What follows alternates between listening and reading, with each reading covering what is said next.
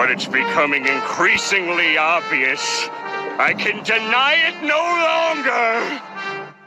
I am small.